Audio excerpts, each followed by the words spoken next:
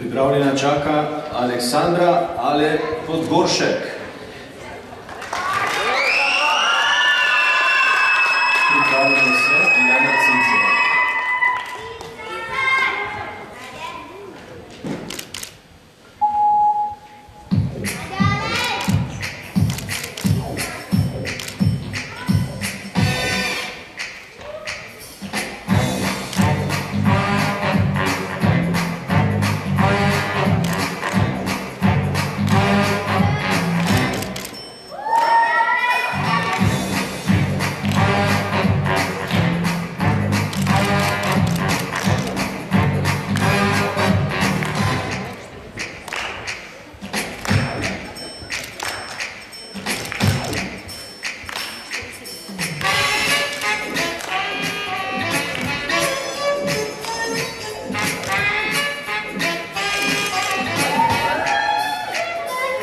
Thank you.